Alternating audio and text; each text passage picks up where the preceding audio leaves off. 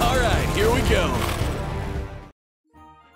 RWBY, from a technical standpoint, uh, actually has uh, quite a bit of challenges. You've got a number of different characters, vast landscapes, not only interiors but exteriors, and having to, uh, to represent that and all their variations. All the characters that you see on the screen are more than just an image. You know, that image is made up of a lot of data. We use three separate softwares for what we do. We have a beautiful painterly quality that comes out of Maya with all the environments. We have a cel shaded aesthetic that we get out of Max for that really nice toon shading that you see on the characters. We also use Houdini to generate the crowds and effects. We have to have three packages uh, function basically like a cohesive unit, as if they were one. Cameras, frames, characters, uh, it all has to line up exactly. The tech team has created just a myriad of tools. The artist is able to push a button and literally a thousand plus processes happen in the background. Now that everything is imported, and we just hit up set up scenes, and you can see down at the bottom all of the things it's doing. It's setting up all these render layers, calculating all of the geometry, it's calculating all of the textures, and then it's thinking about the lights. Another pass we use every single shot is the utility pass for the character, and it has mattes. All this automation means that we're not doing every single thing by hand. That is going to let them iterate more, target in on what the director, what his vision is or her vision is. Ultimately get a better product uh, for the viewers.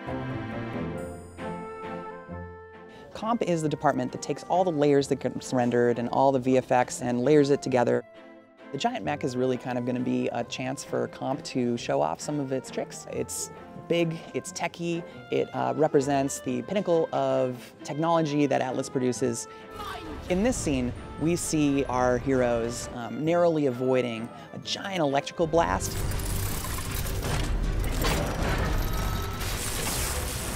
It's a really cool one because it's a, it's a comp effect. Even though it's a miss, it doesn't hit the airship. There's so much like dust electricity that it arcs off and still hits and damages the ship. Each object in the scene is individually rendered. In all those parts of the process, something can fail. My job is going and finding out what that issue might be. This is called Royal Render, and all of us use it. This is kind of a, a way we find out if the renders are getting through. So we have a job rendering here. As we can see, these caution signs appear. That's how I know that something is going wrong in the scene. Usually I would find the artist associated with this job, have them open it, and we would discuss like what the render logs are saying are, potentially wrong with their scene. When it gets fixed, we send it back through the pipeline and we have ways to swap out the broken asset for the, the fixed asset and figure out how to fix that. Some are fairly straightforward and fairly easy, and then others are really obscure, and those ones I feel like a detective, I guess, going through. I'm really proud of what the team has accomplished, not only my team, but the entire uh, animation team.